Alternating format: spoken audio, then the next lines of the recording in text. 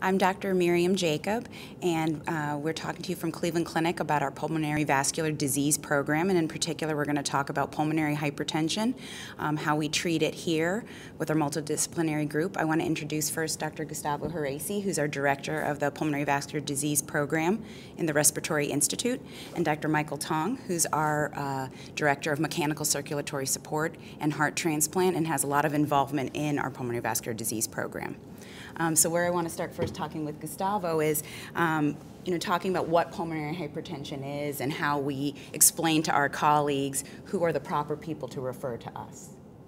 Right. So pulmonary hypertension um, is really not a disease in and of itself. It's just a term that describes elevated pulmonary pressures, elevated lung pressures. The key to understand about it is that it is caused by a number of different conditions, and the treatment is highly dependent on the reason behind it. So we have pulmonary hypertension caused by left heart problems, which uh, mm-hmm. typically we will treat together with you and your team in cardiology. We have pulmonary hypertension due to lung disease, like chronic obstructive lung disease and pulmonary fibrosis, which we will treat uh, directed to the lung problem. We have pulmonary hypertension due to chronic blood clots, uh, chronic thromboembolic pulmonary hypertension, where we involve our surgical colleagues and, and the multidisciplinary team that takes care of those patients. And finally, we have a large group of, of patients with pulmonary hypertension due to either some underlying conditions such as connective tissue disease and others, or also pulmonary hypertension without an underlying cause. Those are the patients that we tend to treat with uh, pulmonary hypertension specialized medicines. And so the evaluation and, and, and, treatment of these patients is highly complex, and we, all, we always recommend that. Uh, at least uh, for the first round of evaluation and treatment, patients are referred to a specialized center.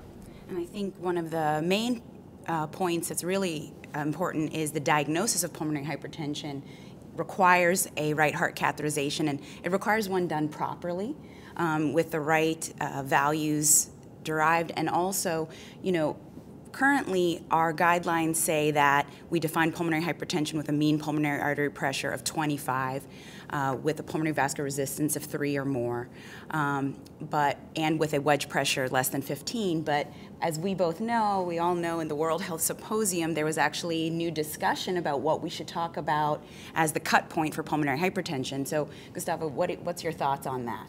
Yeah, that, that is an important point of discussion. So, as you pointed out, the most recent World Symposium on Pulmonary Hypertension came out with a recommendation to define now pulmonary hypertension as a mean pulmonary artery pressure of uh, greater than 20 millimeters of mercury with a pulmonary vascular resistance greater than 3 Wood units. Um, and so this changes uh, a bit the landscape because now that we're going to have a larger population of people with uh, with, with, uh, we, which we can diagnose with pulmonary mm-hmm. hypertension. I think uh, there are two key points to understand about that, which I'd like to emphasize. The first one is I, I don't think this new definition is a mandate to treat more patients.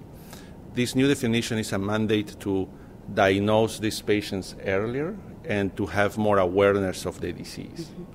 Uh, because the, the second point is that we see a lot of patients with these mild levels of pulmonary artery pressure elevation that are uh, due to underlying conditions obesity, left heart disease, lung disease, and as I discussed earlier, these conditions typically do not require these specialized medicines that we use. So I think the new definition is just a call for all of us, for the medical community, to be more aware of pulmonary vascular disease and try to find these patients earlier to provide counseling, monitoring, and in selected cases, therapy.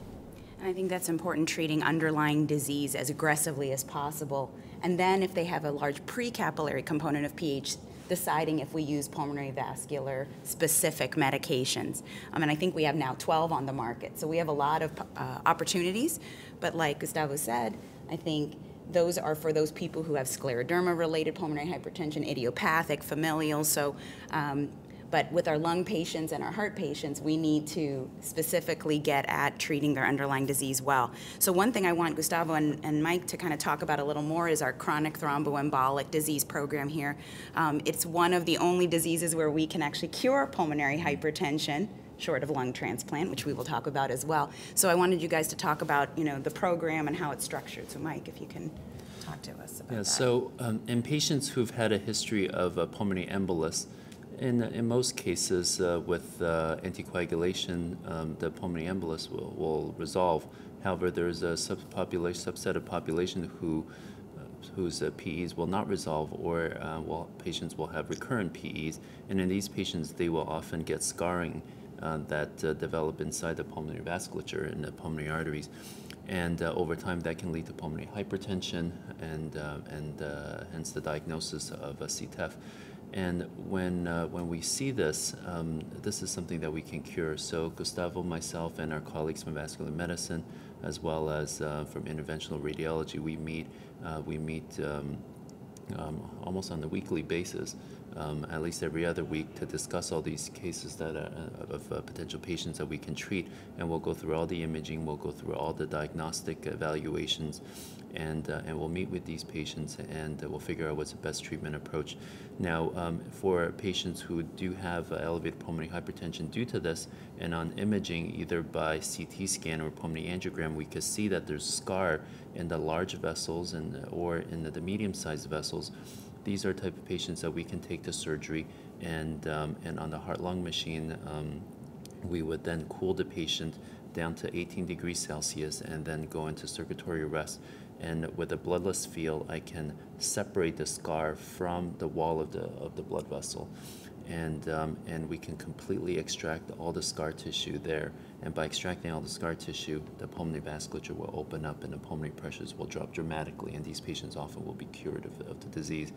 Um, this is predicated on the, the scar tissue being in the, in the large vessel and the medium sized vessels. Um, if the scar tissue is too distal and starts at the, the most distal vessels, uh, my instruments are not small enough to be able to get into vessels that are under two millimeters. Um, in those cases where the disease is quite distal, we do have new treatment modalities, particularly with the balloon pulmonary uh, angioplasty, or BPA for short, and uh, and that's where our interventional pulmonologists can go, uh, sorry, uh, our interventional radiologists can go in and using balloons to go in and push the scar uh, out of the way to open up those segments, and that's also been proven to be very effective um, in patients who are either too high risk for surgery or in patients who have disease that's too distal that we can't get to in, uh, in standard surgery. And there are also patients who we've done uh, a hybrid approach where on one side you may have more more um, proximal disease, and on the other side, more distal disease, where you know we don't get a full extraction with surgery, and then the patients will undergo pulmonary angioplasty afterwards. So, um, so the CTEPH program here is uh, is growing. We're on track to do to about 40 to 50 cases in 2019 and our outcomes continue to be excellent. And, and one of the reasons we have been able to achieve these great outcomes is the fact that we work as a team, we work in a multidisciplinary fashion with, uh, with um, multiple individuals with different skill sets, and so that we can not only select the right treatments for the patients, but also um, uh, treat the patients together afterwards with all different types of modalities. Um, you know, in speaking to that, Gustavo and Mike work in this program together. Um, for those inoperable patients, have you found that BPA has been a great resource to us now, a great technology for us? Yes, I think so. I mean, it's really exciting times for this uh, particular field because until recently, uh, for uh, patients where surgery was not feasible, as Mike pointed out, there were really not great treatment options. Uh, I will say there is medical uh, therapy. We use uh, one of the pulmonary hypertension targeted medications that uh, works in the small vessel component of this disease. Uh, but the reality is it's clearly not as effective as dealing with a mechanical complication or the mechanical basis of the disease. And so balloon pulmonary angioplasty has allowed us to treat a larger proportion of patients, uh, offering a mechanical solution to uh, the sort of the distal component of the disease. And yes, we are seeing actually really good results. Um, it takes several sessions, so it's not like I can clear out the whole pulmonary vasculature in one setting. Balloon pulmonary angioplasty requires several sessions because you treat different areas of the lungs in different uh, sessions. But after a number of sessions, and the average for our patients is about four to five with, with a reasonable spread, we do see uh, people who have uh, major improvements in symptoms. We have people who come out of oxygen. Pulmonary pressures do improve uh, significantly. Uh, some people achieve normal, normalization, but uh, in terms of the hemodynamics, at least so far, and the experience remains a bit early, uh, the hemodynamic improvements are not as impressive as, as the ones achieved by surgery. But symptomatic improvement, um, functional capacity, oxygen requirements, all of them improve quite dramatically.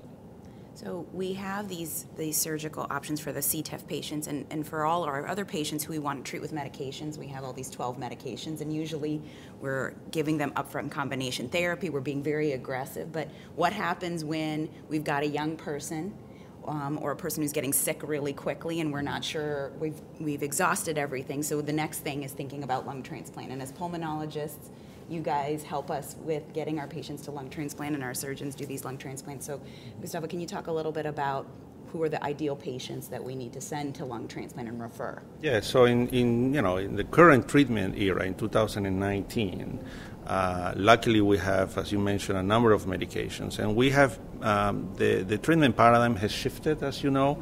Uh, in the past, we used to start one medication and we would wait until the patient deteriorates to add the second one. So nowadays, we are more aggressive. We're in the era of upfront combination therapy with at least two oral medications. And if patients are really sick from the get go, or if they fail to improve, uh, they fail to reach our treatment goals, we quickly move on to an infused medication, an infused prostacyclin therapy. So, in a patient with triple therapy that is not improving, who remains quite short of breath, functional class 3 or 4, with significant hemodynamic compromise, a low cardiac output, high right atrial pressure, speaking of uh, ongoing right heart failure in spite of maximal medical therapy. I think that's the patient that we need to consider uh, for lung transplant evaluation. And this is a decision that we make pretty early. As I said, we are very aggressive with our treatments, and if we don't reach the treatment goals, we engage our uh, transplant colleagues very quickly because the transplant evaluation, as you know, is a process. It takes some time. Luckily, in the clinic, we, we're blessed with a wonderful program, and we can move things quickly. But I think in our in our team, and I think that's one of the importance uh, the importance of uh, issues of having a multidisciplinary team um, a center of excellence in pulmonary hypertension, we feel it has to offer the, the gamut of, of treatments, and that includes medical therapy, surgical uh, procedures, interventional procedures, and so forth. So I think we, we're very, very careful about that. Mike, you know, speaking to these patients, it's a smaller group of patients who get lung transplant that are, have pulmonary hypertension, but are, are, there certain things that you find are challenges or ways to get the patient to transplant that that's tougher compared to our COPD and ILD patients? Yeah, uh, one thing with um, patients with pulmonary hypertension who are truly end stage um, is that these patients can deteriorate very quickly. Uh, with the pulmonary hypertension, uh, often the right heart will be under tremendous amount of strain and and the right heart can, can fail very quickly in these patients. And uh, with uh, every transplant patient, there is going to be a wait time. Um, the, the duration of the wait will depend on many factors. It depends on if the recipient has uh, any antibodies. It'll depend on their size. Um, it depends on the blood group, and sometimes the wait time can uh, can take uh, a few weeks uh, at the minimum, and often can take a few months or even longer in, in certain situations. So, um, so the key is to get these keeping these patients stable and getting these patients safety to a lung transplantation. Um, and um, luckily, the uh, lung allocation score is designed so that the sickest patients will have the highest priority, um, but there are still patients who won't make it in time, and that's where mechanical support comes into play. Sometimes we will need to put these patients on uh, on ECMO. Um, so we can uh, we can buy them more time. We've had uh, uh, really good uh, success with our ECMO program, getting these patients safely to lung transplantation. Um, we, we just looked at our, our outcomes for uh, between uh, 2012 to 2016, and over a four-year period, we had a successful bridge of almost 90% to lung transplant. And the patients who were on ECMO getting to a lung transplantation, once they had their lung transplantation, their outcomes were just as good, if not a little bit better than than um, than the, the patients who weren't on ECMO getting to lung transplantation. Now, I'm not saying that every patient should be on ECMO going to lung transplantation, but um, you know these are typically uh, tend to be younger patients, so we expect them to have a better survival afterwards. But it just shows that with um, with a, proper uh, proper team, a proper program, and uh, and with the, the right technology, uh, we can safely buy these patients more time so that they can safely get to transplantation and have a great result afterwards you know, I know we meet weekly in the pulmonary hypertension group. The lung transplant team meets weekly, and I think us talking about our patients and coming up with a plan and what what happens next is always important. I know for the lung transplant team, you guys talk about is ECMO an option to get to the next thing. In our in our group, we talk about well, what is the next thing? So we're never giving up on figuring that out. Um, you know, real quick to talk just about our research efforts here at Cleveland Clinic. Um, we do a whole group of pulmonary hypertension trials here, uh, including patients from all these different flavors of pulmonary hypertension, lung disease, heart disease. Um, are there a couple you want to highlight or things that are really unique to us? Yeah, so um, as you pointed out, there are many medications now, and they are very effective, but none of them cure the disease. So, so the search continues, and also at their core, all of these medications are pulmonary vasodilators. Uh, they may have some other effects, but basically they open up uh, constricted pulmonary arteries. So we are looking now at different mechanisms of action. So we have our own investigator uh, initiated, uh, frequently NIH funded studies. We're looking, for example, at uh, influencing the disease with diet and exercise. Uh, we are participating with other centers also using metabolic modulation uh, in pulmonary hypertension. We also participate in uh, sponsored trials, of course, and uh, one large area of need uh, are those patients with pulmonary hypertension due to underlying conditions where we know that a lot of these medications don't work quite well. So we have ongoing trials, one that you're leading in pulmonary hypertension due to left ventricular diastolic dysfunction. We are now having also trials uh, looking at pulmonary hypertension due to lung disease, both COPD and pulmonary fibrosis uh, investigating the role of inhaled uh, vasodilator therapy. So yeah, so there's a there's a gamut of uh, we have a research portfolio that uh, I think it's important to find the next the next new medication. And also, I should point out uh, we do a lot of uh, basic and clinical translational work. We have a biobank. We we're looking at biomarkers. We're looking at new pathophysiologic uh, pathways in this disease to find new treatment targets. You know, our group. I think what's really exciting about do, working here and doing pulmonary hypertension is we take care of the patients. We, I think, properly diagnose them. We get them down the right path of medical management or surgical management. And then for every patient, we screen them and say, Would you be a great participant or a good person for a clinical trial to help us understand and give them access to newer medications, technologies, et cetera? Um, you know, are there any other things, thoughts that, Mike, you want to say about pulmonary hypertension, disease management in general, or mm-hmm. things that you want to make sure people understand? Yeah, I think um, I think uh, just to uh, circle back to what Gustavo said in the beginning, pulmonary hypertension is uh, is uh, has a lot of different underlying diagnoses, and getting to the right diagnosis uh, it, and getting to the correct diagnosis early is what really matters uh, for the long-term success of treatment for these patients. So, so um, I think um, I, think the uh, the index of suspicion has to be high if you have patients with short of breath um, and uh, who've had a, either history of PEs or who have uh, other underlying lung disease. You know, think about this early and uh, and think about uh, getting the diagnosis early and, and figuring out the underlying cause. Um, you know, often it is left uh, left-sided valvular issues or left-sided heart failure. That's uh, the cause of what we can easily treat. If this is CTEPH, um, we can easily easily treat this. I mean, it's so common for us to to see patients, um, and then you talk to the patients. You ask them how long the symptoms been going on, and, and they say they've been it's been going on for a long time, and they and it's only very recently that they really understood what was the underlying cause and And uh, so getting to the right patients, uh, getting to them early, getting to the right treatment, um, and um, uh, those are all things that matters. And this is where a center um, like this, where you have a, a, multidisciplinary team of physicians, will really be beneficial. So we can tap into the expertise of each uh, each team and member. All right. Anything else, Gustavo, you want to bring up? Uh, yeah. So I think to build on that, you know, if you look at um, you know, for we, we think we're doing a great job as a medical community, but if you look at the median time between symptom onset and diagnosis, mm-hmm 30 years ago, it was two years. Still two years. and right now, it's still two years, yeah. right? And so I think that for, for, for, for us, for all the medical community, I think what Mike pointed out is really important. If you have a patient with shortness of breath, and you, you do this, the chest x-ray, the EKG, the pulmonary function testing, and you don't find and a clear-cut diagnosis that accounts for the patient's symptoms, you, you, have to think about pulmonary vascular disease. And the way to start thinking about it is with an echocardiogram. I think we should mention this. It's a good screening test to give a sense about the pulmonary pressures and how the right side of the heart looks.